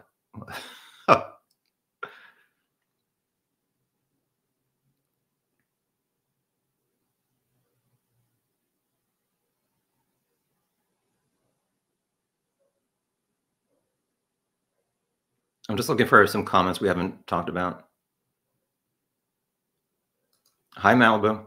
Do they stock fish in that area? Makes more sense that Rick was into fish, not the stock market. Yeah, some people have said that there's an app where you can see if like a local creek or pond or something stocked fish into that body of water. And people said, well, maybe Rick was looking at this app as he walked towards High Bridge to see if there were going to be fish. And I'm not doubting that there it's possible to see fish from the bridge. However, it seems more logical that it is when the water is clear. And even if you look at the helicopter footage from the day after, like the day the girls were found, like it's not clear at all. So how long is somebody looking over platform one down into Deer Creek, hoping to see fish. Was Rick, how detailed did Rick get in his October interviews on the 13th and the 26th? Cryptex says that was real money sent by Kegan, not pictures. All right, well, what was he sending money to Libby for?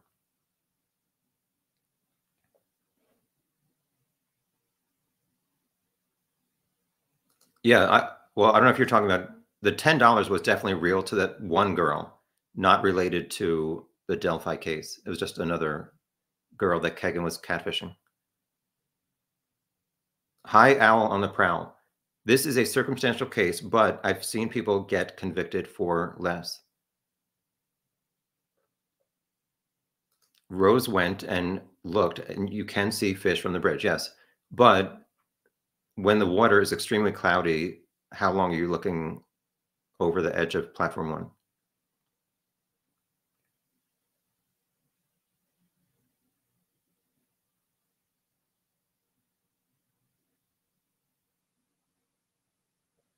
Good morning, Lux.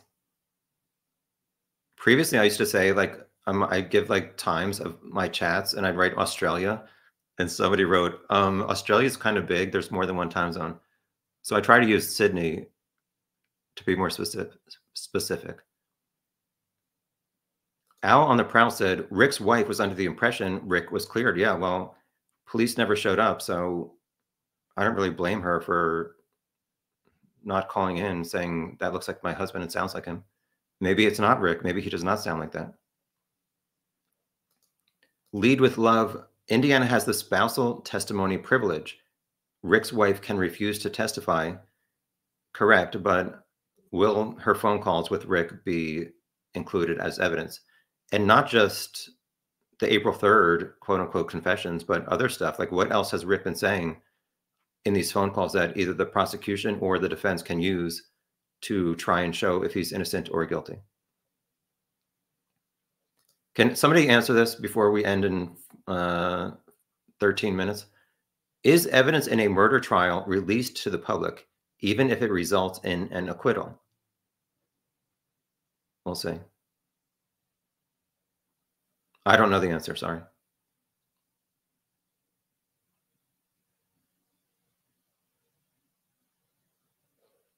Anna says anything presented in court should be available to the public, except in some cases involving juveniles. All right, thank you.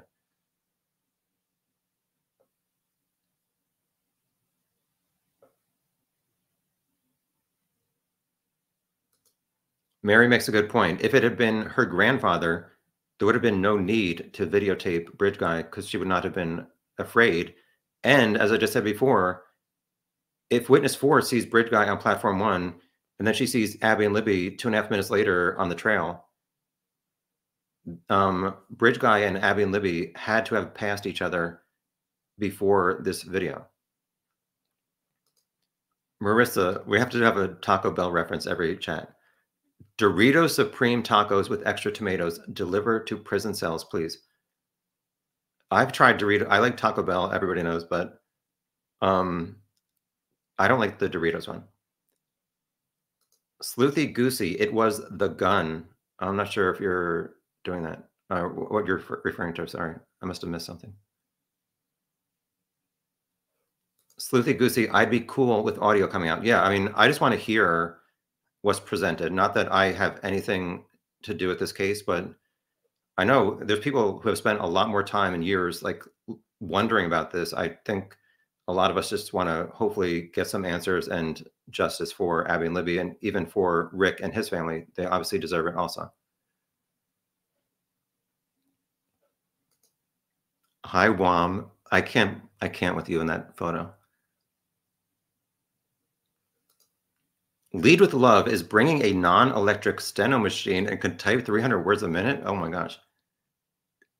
Gull is going to say, you tried it, I denied it, and she's going to smash her machine on the ground and arrest you.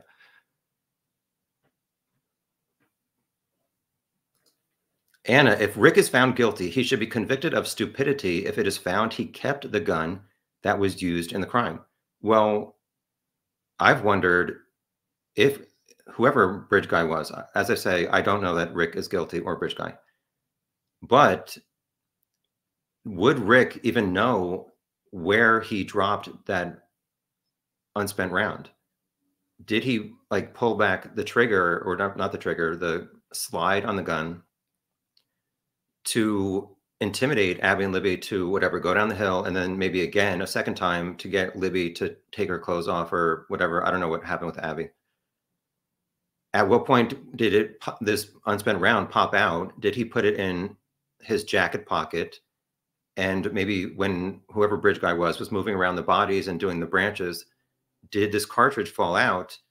Yet bridge guy did not know it fell out two feet from the bodies so he may have thought, oh, it fell out somewhere else that would never be found because police never mentioned it in the five years, Anna. So he maybe did not know that he needed to worry that there was even like the capability to match it up to his gun and stuff.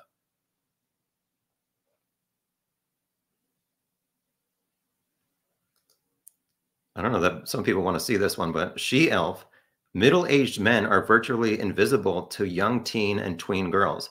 I don't think they'd be looking at Rick that closely. Yeah, Bitter Beat Poet said they were looking at their phones and stuff. So uh, we'll have to wait for their testimony. Marge in charge says it is the totality of the circumstances, not each piece alone. Correct. Hi, Automobile. Libby's grandfather was at work cameras at the plant, easily proved if needed. Yeah, I don't think her grandfather was bridge gun or involved.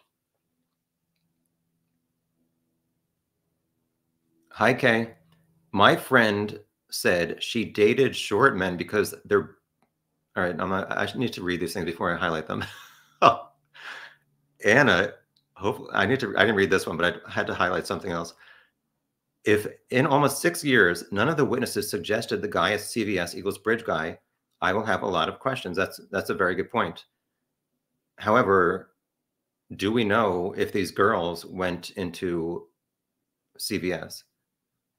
These three girls, there's obviously four girls, but I guess the youngest sister did not see Bridge Guy enough to even really give a description. But there are some various other conflicts with their testimony in the PCA. Because one of the girls said he had like brown and gray hair, which obviously would match up to Rick. However, Bitter, it was not mentioned in the PCA, but Bitter Beat Poet said this girl said Bridge Guy had a scarf up to his nose and he had a, a hood and a hat. So even if Rick was Bridge Guy and he had a goatee at the time, where would this girl even notice that he had gray hair, like his eyebrows or what? So how would she even know that he looked like Jimmy Dale Duvall? And how would she like have a overall idea of what this man looked like if his head was um, his hair was covered and the bottom half of his face? So that's good points, Anna. Sorry if I totally butchered what you're trying to say.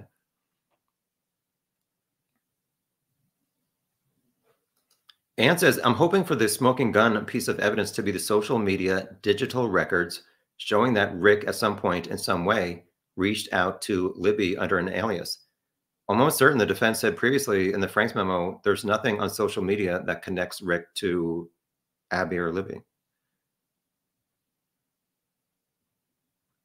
Hi, missing people. Um, my name is Missing Comments.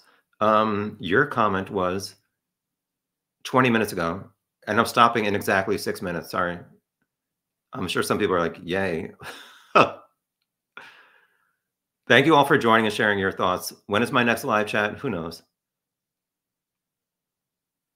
When there's stuff to talk about. When my, when my PowerPoint slides get to about 20 slides. Lead with love. Have any of these witnesses identified Rick Allen? It'd be interesting to know if any of them will get on the stand and say, yes, after Rick was arrested, I recognize, yes, that I really do believe that was the man I saw. However, as I just pointed out, these four juveniles around 130 did not really get a great view of Bridge Guy's face. Witness four was from 50 feet away. I have a bunch of issues with that, possibly. Um, and the 357 driver was a driver. So, like, how fast is she going? And like looking at the face of this man. And as I forget who it was, said, I'm almost certain these uh, five women, females, were Delphi area residents who possibly went into CVS and they never said, oh, that guy is the guy I saw. And will be interesting to see how the defense team costume Rick for the trial. Of course, he'll have a righteous pastor sort of suit and tie, but wondering about facial hair and or head hair. So you think maybe Rick will shave, I'm guessing here, will Rick shave his goatee if the um, witnesses are going to say bridge guy had a goatee? We'll see.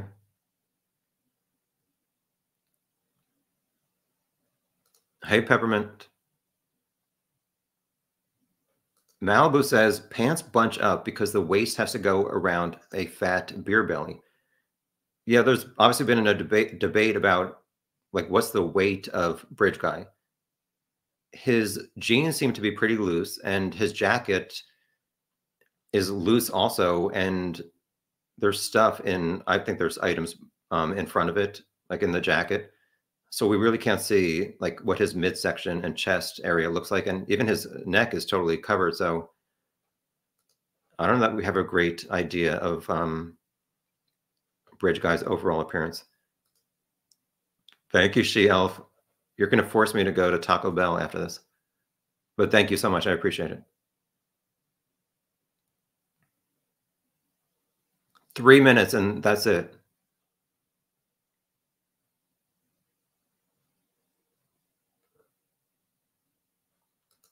Hi, big fish, small pond. I would assume the cops could do their job. Yeah, you would uh, assume. Like my, oh my God, I had a former CEO, and I once said I assumed, and he said, "Tom, never assume. It makes an ass out of you and me." And I was like, and then he walked away, and I was like, "I roll." Anyway, oh, what's the end of your comment? Sorry. I would assume, although I left and he did ask me to come back with a 30% raise, so I did something right.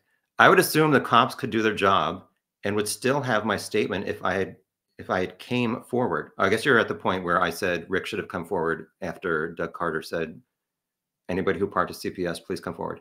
Also, if he didn't know what the CPS building, they didn't show a picture or anything. That's correct. It's never been stated that Rick said Farm Bureau building or CPS. The only thing I've seen is in the PC, uh, no, it's in some something. it said he in October 2022 Rick said he parked next to an old building. To me, there's only one old building, and that's by CPS. And in the Franks memo, the defense essentially said that Rick parked next to CPS. And Doug Carter messed up and said February 14th, not the 13th. I don't know. We, we could debate all this stuff all day long, but I'm stopping in 90 seconds. So I'll do one more comment. As I say, thank you to everybody for joining and sharing your opinions, except for Keith Kellogg um, I'm not a plant. I'm not working for um, anybody, the defense or the prosecution. All I care about is justice for Abby and Libby and for Rick Allen to get a fair trial. Uh, anything final? Yeah, big fish and small pond and I disagree, but we're at least polite with each other.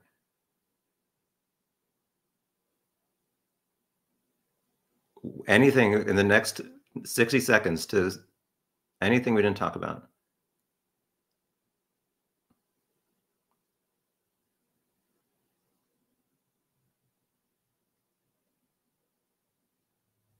Should I just end it? Let me see if I can find one more.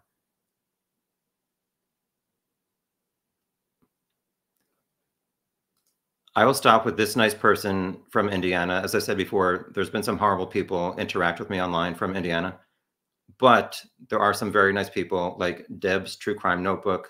She does true crime on her channel. You can check her out. She does updates on the case more than I do, more frequently. So check out her shorts. It's at one hour and 59 minutes and 28 seconds.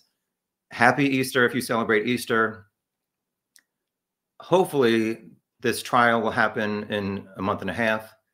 Hopefully, the truth will finally come out either way, whether Rick is is or is not innocent or guilty. That's all I've ever cared about. I'm not planted by anybody. Goodbye. I don't know when my next live chat is, but I'll let you know.